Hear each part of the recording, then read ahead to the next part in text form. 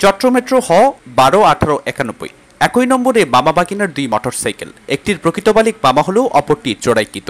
রাউজান থানা পুলিশ চোরা মোটরসাইকেল সহ ভাগিনা মোহাম্মদ ইমরানকে আটকের পর এমন তথ্য পাওয়া যায়। বৃহস্পতিবার সন্ধ্যায় নগরীর বাকলিয়া থানা পুলিশের সহায়তায় রাজন থানার উপপরিদর্শক শাহাদাত হোসেন সঙ্গীয় ফোর্স নিয়ে তাকে আটক করেন। আটক ভাগিরা ইমরান রাঙ্গুনিয়া উপজেলার দক্ষিণ বাজানগর ইউনিয়নের ছয় নম্বর ওয়ার্ডের সাদেকপাড়া এলাকার মোহাম্মদ ইউনুস প্রকাশ বাবুলের ছেলে।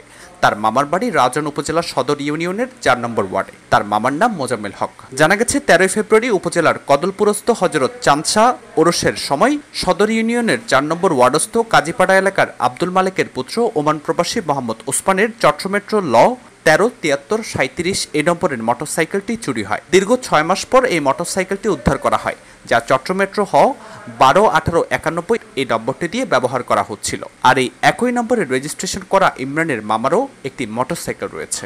আমি সানসার মাঝারি গেছিলাম। এখান থেকে আমার গাড়িটা চুরি হয়ে গেছে। মেলায় পাঁচ পাঁচ, দশ মিনিট ঘোরাঘুরি করছিলাম। তারপরে এসে দেখতেছি এ, গাড়িটা পাইতেছি না।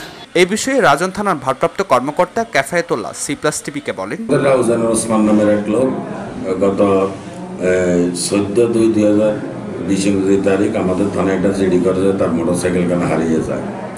এসআই শাহাদাত এটা তদন্ত করতেছিল হারানো মোটর সাইকেলটা উদ্ধারের জন্য।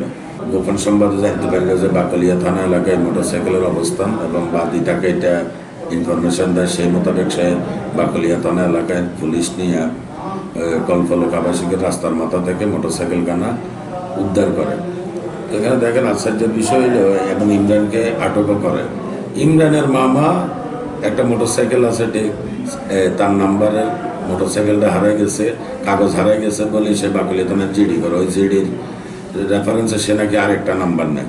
তো পরবর্তীতে ধরার পর দেখলাম যে তার মামা এবং বাগিনের দুজনের যোগসাজস আছে। মামার বাড়ি আমাদের রাউজান আর বাগিনের বাড়ি হলো Rangunia.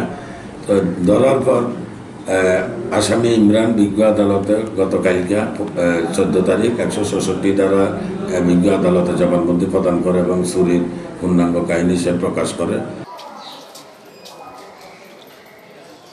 Text news, C plus TV, Chittagong.